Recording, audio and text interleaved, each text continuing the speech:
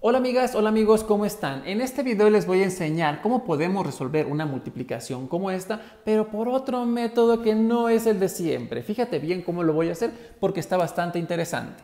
Aquí nosotros tenemos punto 25 y en lugar de poner punto 25 vamos a ponerlo pero como fracción. Para esto pongo el 25 completo y esto lo vamos a dividir entre 100. Ahora vamos a dividir entre 25 y entre 25 para poder simplificar la fracción. 25 entre 25 dará 1 y 100 entre 25 dará 4. Entonces la operación que nosotros teníamos que era 80 por punto 25 se convierte en 80 por un cuarto. Ahora vamos a hacer la operación 80 por 1, 80 entre 4 me quedaría 20 y listo, he resuelto este ejercicio. Si estás cursando la primaria o ya la cursaste, ya podrías resolver los siguientes ejercicios. Debemos determinar si podemos construir un triángulo con estas medidas. Piénsale, tiene 6 centímetros, 6 centímetros y 9 centímetros. ¿Podremos construir un triángulo con estas medidas? La respuesta es sí podemos. Para que tú puedas saber si puedes o no construir un triángulo, vas a hacer lo siguiente. Fíjate, Vas a ubicar al más grande, en este caso es 9 centímetros. Ahora, vas a sumar los dos más pequeños. 6 más 6 son 12. Si la suma te da más grande que el lado mayor, entonces quiere decir que sí puedes construirlo. Vamos a ver este. Este es el más grande. Sumamos a los dos más pequeños. Daría 3. Como la suma no es más grande que el lado más grande, entonces no podemos construir un triángulo con estas medidas. Vamos a ver este. Este es el lado más grande. Sumamos estos dos, daría 62. Como 62 si es más grande que 56, entonces si podemos, te dejo que tú me digas en los comentarios si podemos hacer un triángulo con las medidas del inciso E que no sabes sumar fracciones porque está chiquito, fíjate bien porque te voy a enseñar a sumarlas muy fácil y esto es con una mariposa vamos a dibujar por acá una ala, por acá otra ala y por aquí vamos a ponerle la colita. Ahora por acá está una antena y por acá otra antena. Vamos a hacer lo siguiente, multiplicamos cruzado 1 por 5, 5, esto lo ponemos en esta antena. Ahora 3 por 2, 6 y esto lo ponemos en esta antena. Ahora aquí abajo vamos a multiplicar a los dos que tenemos aquí, o sea los que están en la colita, 3 por 5 van a ser 15. Finalmente, para poner la respuesta vamos a hacer lo siguiente. 5 más 6 serían 11 y este 15 lo vamos a poner aquí abajo. La respuesta será 11 sobre 15. Y ya con esto está muy fácil, ¿no? Que no sabe restar fracciones porque está chiquito. A ver, ponga mucha atención porque le voy a enseñar a mi niño. Muy fácil.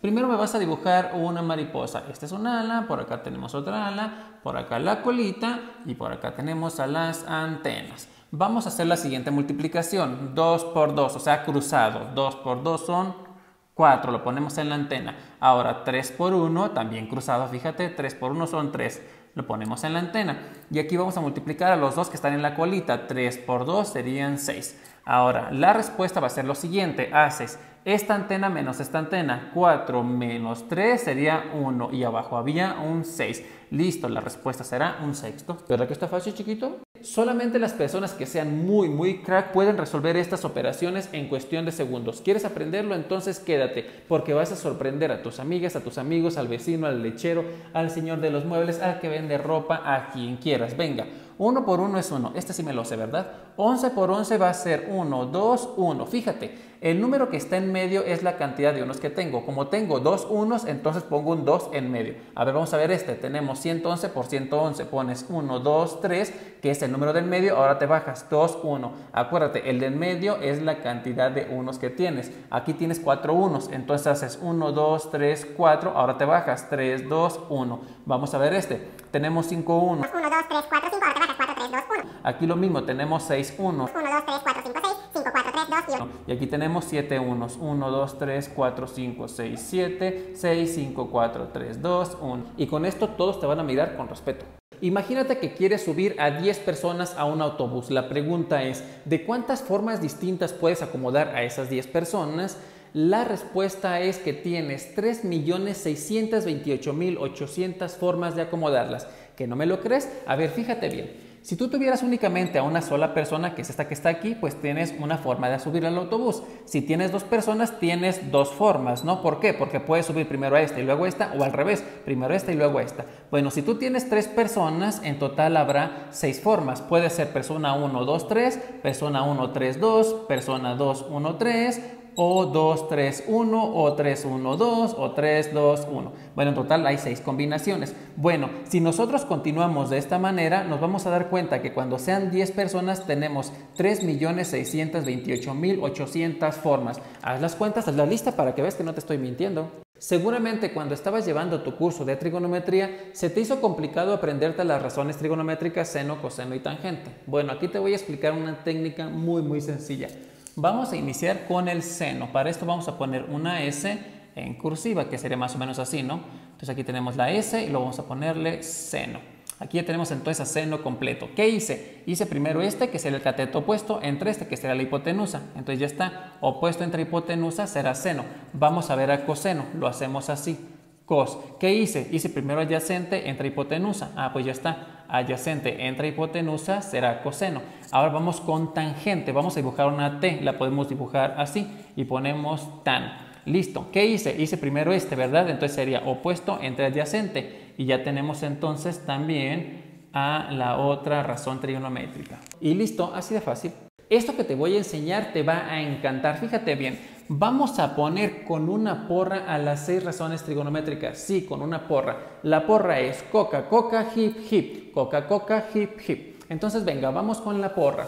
La vamos a poner de la siguiente manera. Fíjate, déjame poner aquí las rayitas para las razones y ponemos co, k. Otra vez, co, eh, K.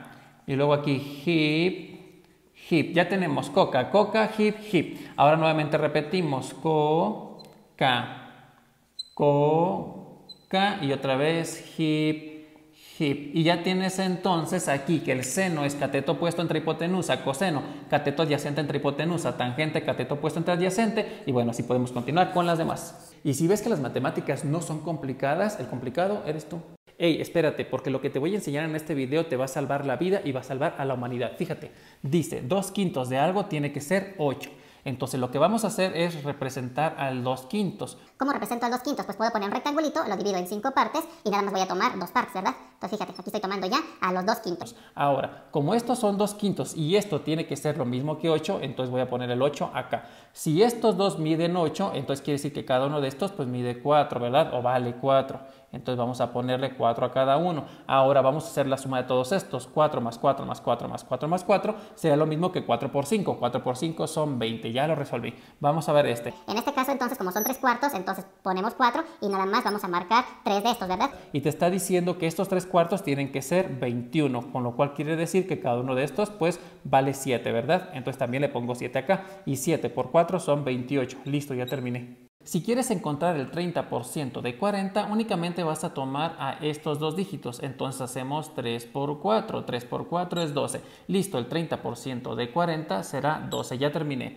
40% de 70. Entonces vamos a tomar estos dos y los vamos a multiplicar. 4 por 7 serían 28. Entonces ya tenemos que el 40% de 70 será 28. Vamos con uno más tomamos estos dos y los multiplicamos. 2 por 9 es 18 y entonces ya tenemos que el 20% de 90 será 18. Si estás cursando la primaria o ya la cursaste, entonces esto lo deberías saber. Si no te lo sabes, entonces quédate porque está súper fácil.